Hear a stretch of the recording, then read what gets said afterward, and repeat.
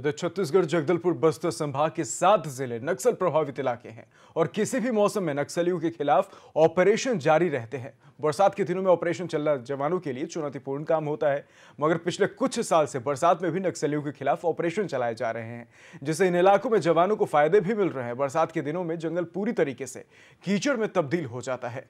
जिसके बाद सांप, बिच्छू और अन्य जानवरों का खतरा भी होता है। नदी नाले उफान पर होते हैं, जिसे देखते हुए जवानों को स्पेशल ट्रेनिंग दी जाती है। बरसात के समय होने वाली कठिनाइयों से निपटने के लिए सभी सामग्री जवानों को उपलब्ध कराई जाती है।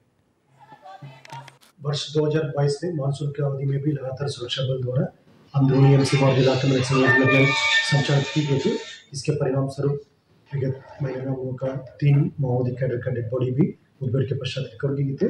और अन्य इलाके में लगातार कार्रवाई भी जारी है।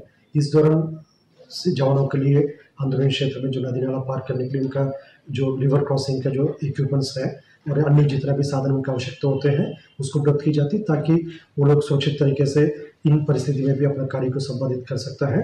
और जैसा ट्रेनिंग में भी रिवर क्रॉसिंग का उनका जो सावधानी क्या क्या है लेना चाहिए, इन सब तमाम विषय पर उनका लगातार ट्रेनिंग भी दी जाती है।